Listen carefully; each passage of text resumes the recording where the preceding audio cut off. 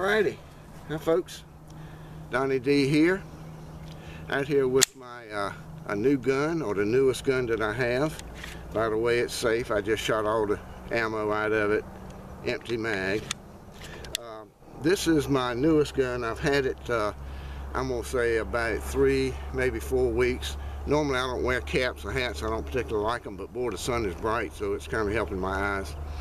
Um, but anyway, I've had it about three or four weeks. It's a, uh, a Taurus TX22 competition SCR. Now, that's a long name, quite a name, but it's quite a gun. I really like this thing. Um, is it perfect? No, not by any means.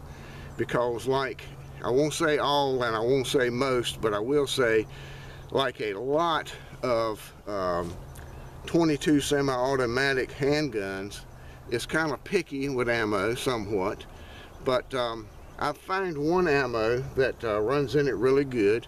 Uh, like you just saw me I just shot uh, full mag 16 round mag uh, with no failures at all. I put this uh, Vortex Venom uh, red dot sight on it. I had it on another gun I swapped it to this one I bought something else of that gun. We'll talk about that another time. But just let me show you a little bit about the gun uh, it does not come with the optics, but it does come optics ready.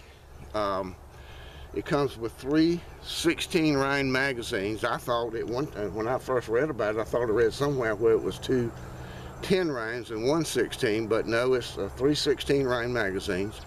Um, uh, it has a uh, it has an ambidextrous safety. Uh, here's your uh, your magazine release or rather your magazine release down here, your slide release up here. Uh, this is a TandemKross uh, Pro uh, compensator. Um, whether it helps on a 22 or not, I don't know. Uh, the weight of it, if nothing else, it has a little bit of weight for it, so if, if, if nothing else, that will do it. But I think it probably knocks what little bit of uh, flip up you have with a 22. But um, even if it doesn't help, it sure looks cool. And uh, there's something to be said for that. It's got kind of a, the trigger is, is nice, but uh, it's got a little bit of take up before you actually you get to your break. Uh, this is actually, this is not really the trigger. The trigger is actually up behind this piece. This is sort of like, uh, uh I guess it's Savage's uh, AccuTrigger, I believe is what they call it. It's just a different way of doing it, I guess. But I'll tell you what, one thing I like about this gun, other than being extremely accurate, which all my guns are accurate. When I miss, it's not the gun, it's me.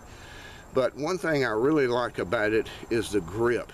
The texturing on this grip is perfect for me, but I really like this palm swell back here that uh, Taurus has on a lot of their guns. I mean, that thing just makes it feel so doggone good.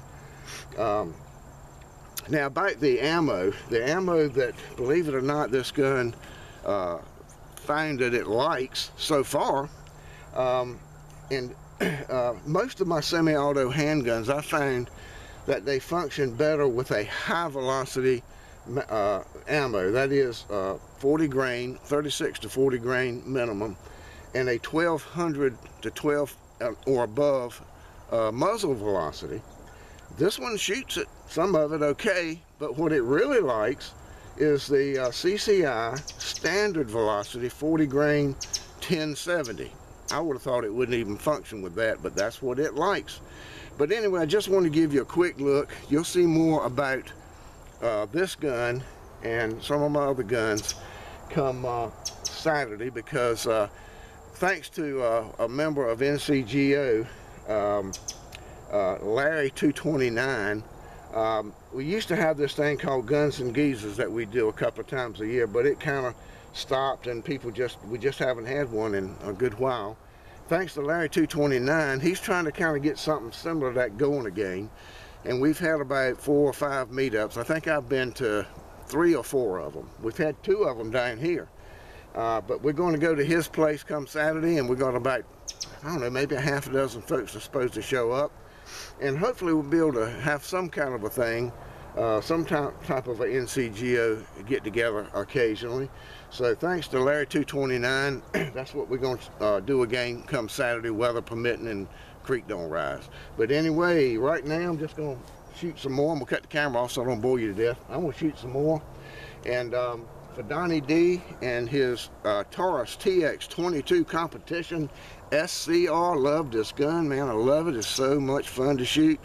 This is Donnie D, and I'll see you later. And we'll be making a video on the uh, meetup Saturday too. That'll be upcoming. But anyway, Donnie D, and I'll see you later. Bye.